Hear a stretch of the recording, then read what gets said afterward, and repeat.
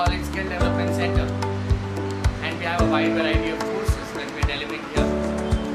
Along with tailoring, pursuing and designing course, we also have handmade jewelry making course, spoken English program, as well as women entrepreneurship development program. Swayam, which is a self-help group initiative, will allow you to earn from our center itself. We are we are manufacturing a variety of products selling it offline as well as online, and we will be more than happy to showcase your products on all our platforms. With this, I'd like to invite you to join our skill development center, get enabled, empowered, and engaged in the nation building process. Join us, join South